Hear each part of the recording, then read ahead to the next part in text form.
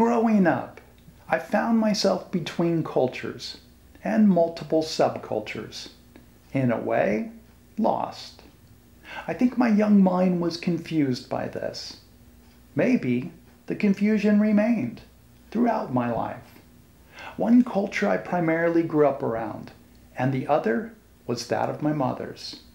I also see the two cultures being similar to two literary styles. The culture I grew up in was more black and white. It seems to me much more of a realism perspective, like in the arts or literature, but mostly in mindset. My mother's culture was of Louisiana and much more similar, in my mind, to Latin or South American magical realist. In this and the next episodes, I will take a look at that. We moved several times as I was growing up, so I was able to see other examples of realist subcultures as well.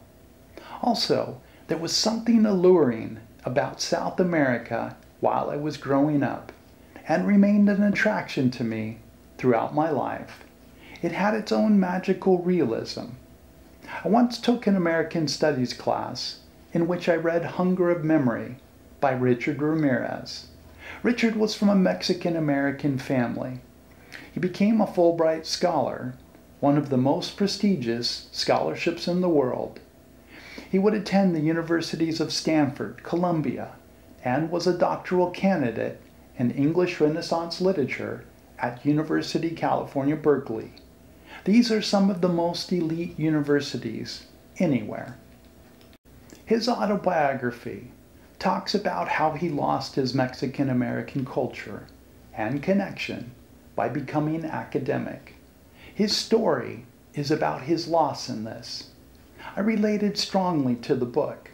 Though I didn't lose a culture, I just never felt like I had one.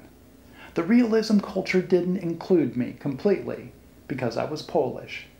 And growing up in realism culture caused me to think too independently to ever live among my family in Louisiana. I believe Richard was like me in that the academic culture he became involved in was one of realism, and he had come from one of magical realism, but was no longer part of that. My first two years of life, I lived in California. At first, around San Francisco.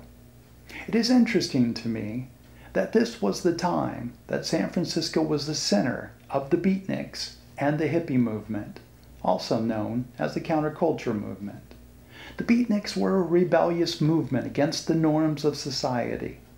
They would often get together at cafes and discuss such things as literature and art, typically that which applied to their movement. The beatniks adopted some Eastern thinking or the influence of Buddhism, Hinduism, and even socialism. They were non materialist, as they felt materialism was an addiction and downfall of the American culture. Many of them would go on to become hippies. The beatnik movement began long before the hippies. The hippies were an even greater rebellion against the establishment. In some ways, it was a complete rebellion. They often had complete distrust for the older generations. It is interesting to me that I was in the center of the two movements while I was a toddler because when I was 15 years old, we moved to Eugene, Oregon. Eugene at the time was a focal point of the hippie movement. Both of these movements had as their base realism but moved, as I see it, towards a magical realistic way of thinking. Even though they rebelled against realism, it was their base. It is how they were taught. I was about a year and a half old when we moved to Orange County, just south of Los Angeles. For several months, we moved in with my mother's mother, as my father would often be out to sea. My grandmother had temporarily left my grandfather and moved away from Louisiana. Five of her children joined her. Their ages were 16 to 24. I sort of remember this time. I remember each of them as being amazingly easygoing, never moody.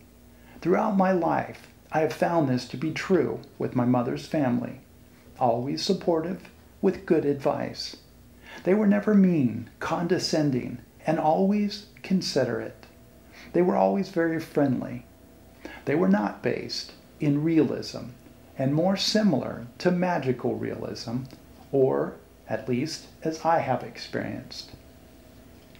My experience of realism is that it is accompanied by a lack of warmth, and South American magical realism is not.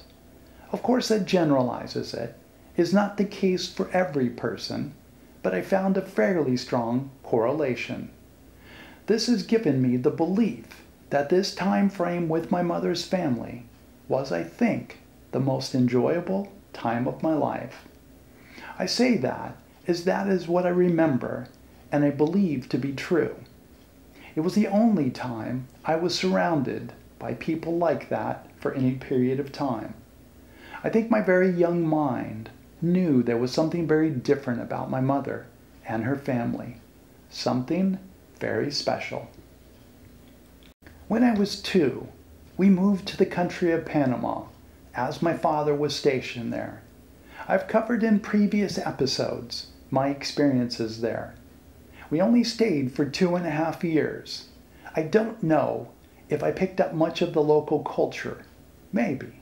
Although I was mostly around families of men in the U.S. Navy. We lived across the street from the jungle, and to me, all things were possible in the jungle. It hadn't been fully explored, and I seemed to understand this. I looked back at the jungle in a magical, realistic way. Anything, I believed, might exist in that jungle. All the rest of my years I spent growing up in the U.S. There was nothing like the jungle. Nothing had the possibilities the jungle had. This reinforced in my mind the ideal of realism in the U.S.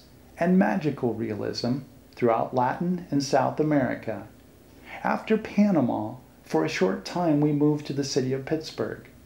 My experience in Pittsburgh were generally good. There was more of a mixture of peoples. My grandparents, my father's parents, lived there. I always had a great time with them. I was fascinated with the city and loved to explore it with my grandparents. Large cities aren't as great as the jungle for me but still lend themselves to a number of possibilities in considering what might be. When we moved away from Pittsburgh, we would often return. There was more there to expand my mind than other places I lived. There was more history in the area than other places I've lived. The areas I was most exposed to were a melting pot of people of Eastern European, Italian, and Irish descent. The people were friendly, not as friendly as my mother's family, but friendlier than other realist places such as Northern Europe or other parts of the U.S. that I've been. I did not go to school there, so I didn't have as much of a chance to understand the culture.